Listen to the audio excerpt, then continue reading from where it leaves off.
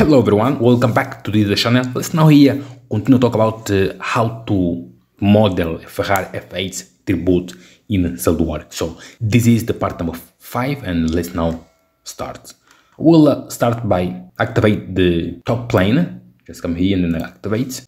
From this plane here, what uh, will do, I will select this line and then goes to the convert entities and I will drag this line will just drag up to here. So it will just here zoom make sure that it is in in uh, the right position.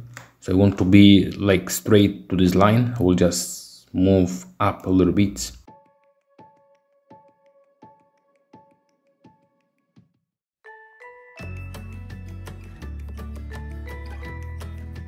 So this step is is done. What I have to do is um, okay rebuild. We'll do something from uh, the front plane. Activates select. This line convert entities. Drag. Zoom make sure that it is in, in the right position good.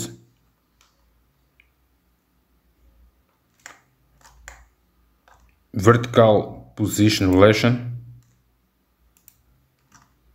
Okay.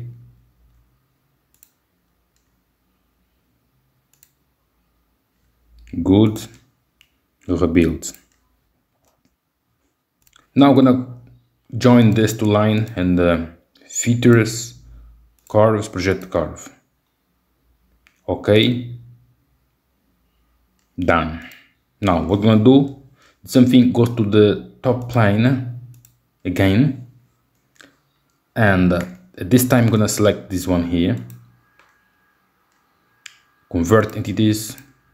Gonna do the same step. So here it's more too many repetition and uh, that's the way it is.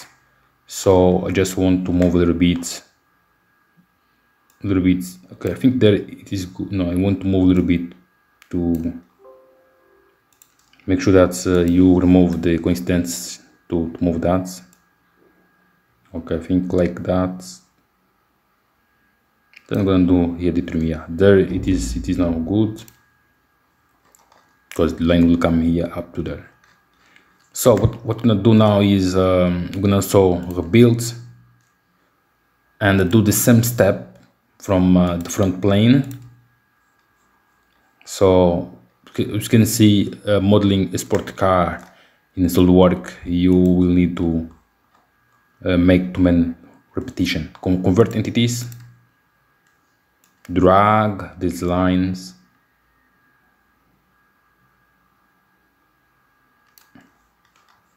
Go and watch close.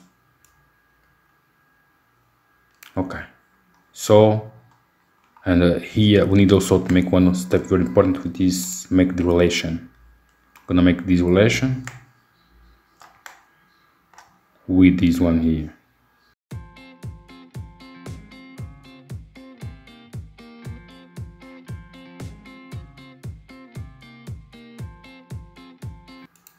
Good and then rebuild.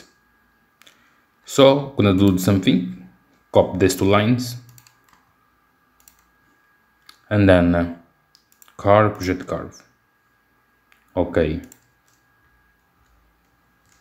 So we have here two lines. So we have this one and this one. So here and also here. Now what, what we're gonna do here is um, we'll use uh, the sketch 3d sketch splines I'm gonna join from this line here to this one. Make sure to connect with with the, the right uh, line. Put it on here right? So this, this this is the one. This one finished there. Just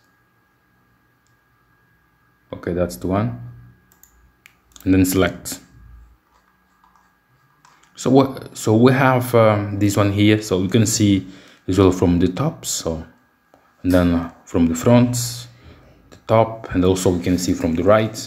So we can see in different position. Just now here uh, starts by changing from the right. So just make sure that this line is uh, aligned to this to this one here okay? From the blueprint. Let's now here do that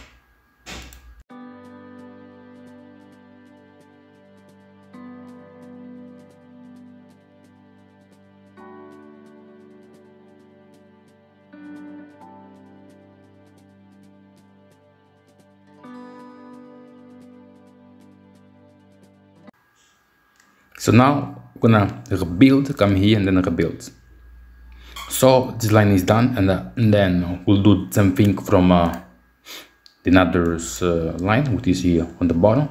Same thing, let's go to, the, to this sketch, activate the splines and then join also here. And after we join, we're gonna do something with what will be, okay, so that's, that's the line we want, this point, and also to this one here. And then okay. So it is also fully defined because it is already defined and I'm gonna do the exact same thing with this uh, make sure that it is aligned with this line here. Below from all these three points because it's a, a 3D line. Just come here and then select. And then do the same thing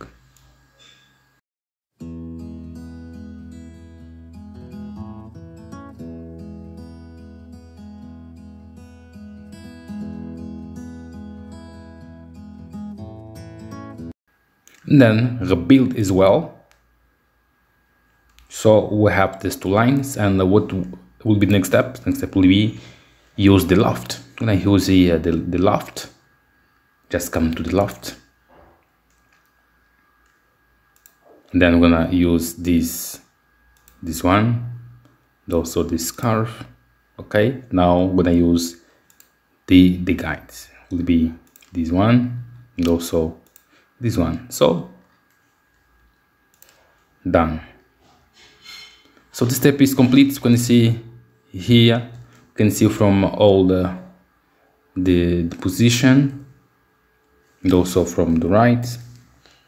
And we can also remove this one here to see. So that's the one we have. And this is the part number five. I hope you like. And please don't forget to subscribe and see you to the next uh, part part number six before you go, please come here, subscribe, click the notification button and give us your feedback.